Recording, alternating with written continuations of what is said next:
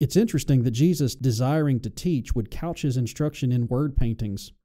You would think he would make it plain to everyone. A ruler once came to Jesus by night to ask him the way of salvation and light. The master made answer in words true and plain, Ye must be born again. Good morning, and welcome to the Bible Study PAL podcast. My name is Greg Circle, the preacher for the Church of Christ that meets in Palmyra, Indiana. On today's episode of the podcast, we begin our study of Mark chapter 4.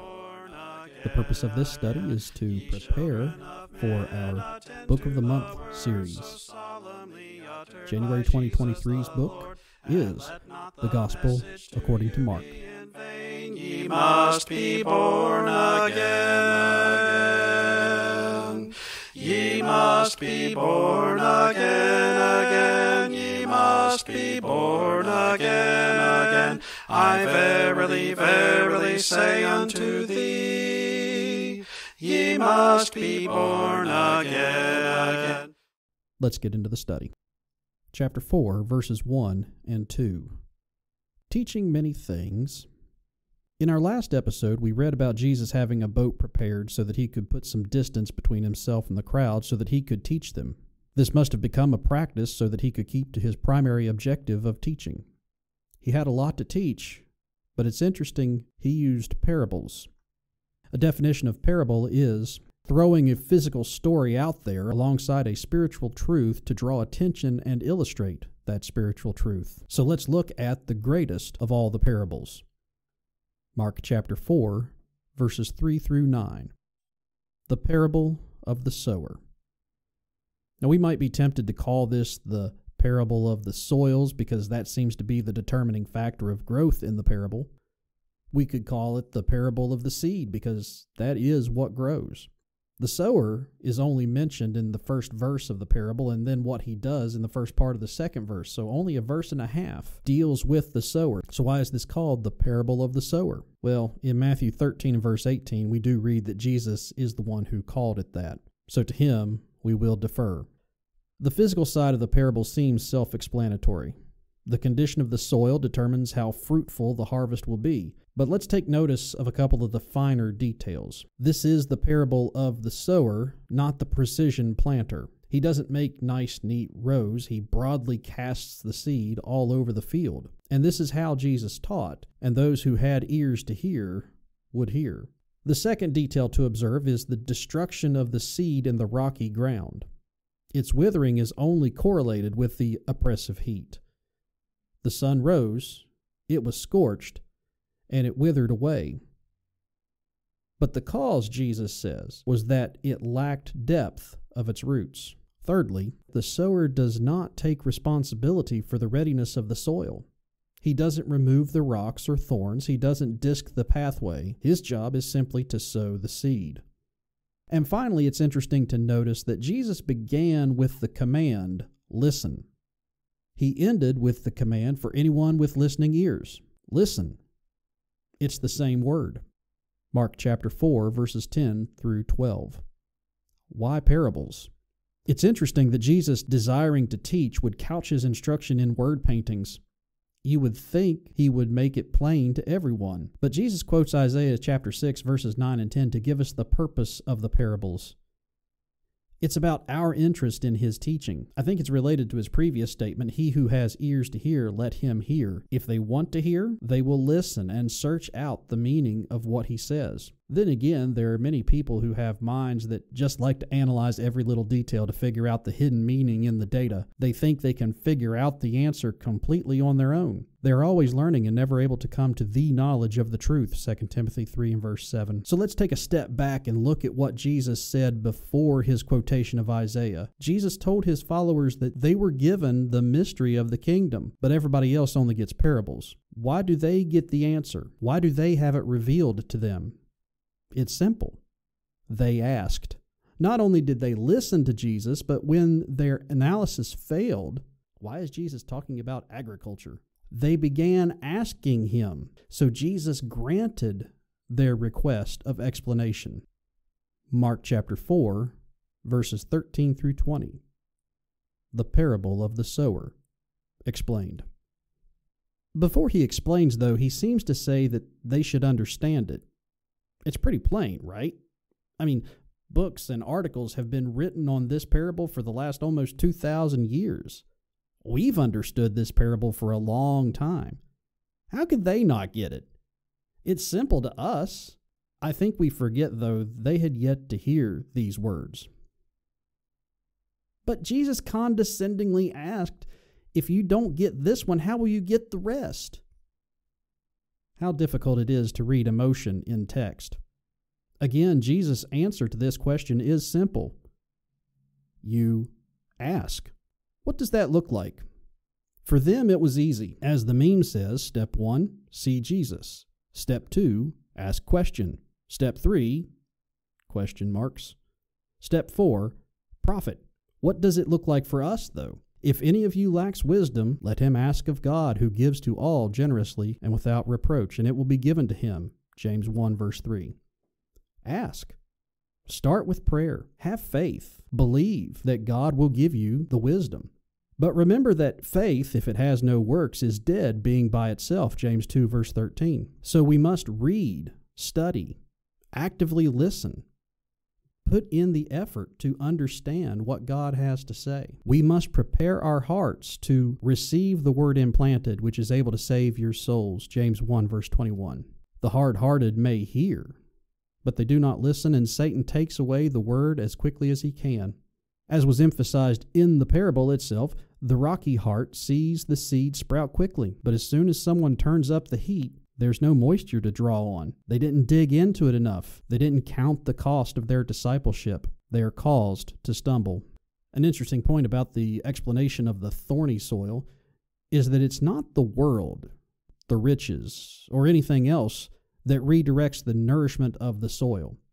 It's the worry, the deceit, and the desire that starve the Christian. It's not the creation itself that's the problem, but the corruption of the will. And what of the good soil? Only that it is what provides seed to the sower. Isaiah 55, verse 10. In our responding properly and faithfully to the Word of God, the seed can be harvested and used in the way God needs it to be used. Of course, it provides nothing if there was no seed to begin with. Thanks be to God that He gave us the seed, His Word. Mark chapter 4, verses 21 through 25. Thoughts on Revelation. Having told his disciples that the mystery of God's kingdom had been given to them, he says, Let your light shine. Jesus brought light, and it was not appropriate to hide it. There is something to be said for uncovering the truth. This is what God desires for all men, 1 Timothy 2, verse 4. But one has to be willing to listen for the truth and listen in the right place. Oh, we are often ready to listen, but do we listen for the truth? What are we taking in? What do we accept as truth? How do we measure it? What is canon? Jesus said that we need to be careful what we listen to and use as a base for our judgments. We need to take care of how we measure ourselves and others because that's what they will use to measure us. Politics is really bad about this. It will often be reported as a double standard. One side elects a man who lied about his achievements, but then condemns the liar from the other side. And it will often escalate. One side merely laughs at the first liar, but the other side says the second should be fired. But God has revealed to us his standard for us. He is the source of that standard. If we take and use his canon to measure ourselves, we will be blessed. People will see our good judgment and seek our authority, which truly only belongs to God, our influence can grow. But if we don't use His standard, but try to use our own, we have no authority for judgment, and whatever authority we do have will be lost. Mark chapter 4, verses 26 through 29. The parable of the seed. So we present this revelation from God, His Word. We cast the seed wherever we can. We show the fruit of the Spirit, and that's all we can do. How that grows, the kingdom, we can't rightly divine. That's not our responsibility. We plant, we water, God gives the increase. Mark chapter 4, verses 30 through 32. The parable of the mustard seed. But there are many who won't accept God's revelation of His will. What must we do about them? Let's summarize Ezekiel 17 real quick. In Ezekiel 17, verses 1 through 10, we read of a riddle and a parable that Ezekiel is told to speak to the Israelites. But I think to kind of explain the riddle, we say those who do not depend on the authority of God but that of man will look to the most appealing system at the time. When they find a problem with one, they'll look for another. But if God's authority isn't the basis, the system will ultimately fail. If the seed is not healthy, neither will the plant be healthy, no matter how fertile the soil. In Ezekiel 17, verses 11 through 21, we have the explanation for Ezekiel to give to the people of Israel. The issue was that Babylon conquered Jerusalem. The Israelites were now their subjects. But the leadership of the time saw an attractive alternative Egypt. And God said, That's not really any better. It's not going to work. Now, why did I go back to Ezekiel chapter 17? Let's read verses 22 through 24. Thus says the Lord God. I will also take a sprig from the lofty top of the cedar and set it out. I will pluck from the topmost of its young twigs a tender one, and I will plant it on a high and lofty mountain. On the high mountain of Israel I will plant it, that it may bring forth boughs and bear fruit and become a stately cedar, and birds of every kind will nest under it. They will nest in the shade of its branches. All the trees of the field will know that I am the Lord I bring down the high tree, exalt the low tree, dry up the green tree, and make the dry tree flourish. I am the Lord. I have spoken, and I will perform it. Jesus quotes, or at least references, this passage in the verses of Mark that we are studying. And if God sets up the system, if God plants the tree, it will grow, it will prosper. It will be the place where even those who are in authority, the birds of the air, will have to make their home. Mark chapter 4, verses 33 and 34. With many parables. Mark concludes this portion of his account of the gospel in a similar way in which he started it. Jesus taught many things with many parables. This is how he spoke the word to them.